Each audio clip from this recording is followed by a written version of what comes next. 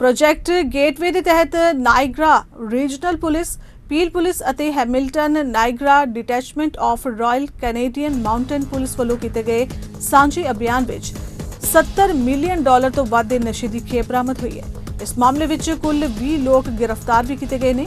Police ਵੱਲੋਂ 10 ਮਹੀਨੇ ਦੇ ਚੱਲੇ ਇਸ ਅਭਿਆਸ ਵਿੱਚ ਵੱਡੀ ਪੱਧਰ ਤੇ ਕੋਕੀਨ ਗੈਰ ਕਾਨੂੰਨੀ ਭੰਗ, ਹਥਿਆਰ, ਚੋਰੀ ਦੀਆਂ ਗੱਡੀਆਂ ਤੇ ਨਕਦੀ ਵੀ ਬਰਾਮਦ ਹੋਈ ਹੈ।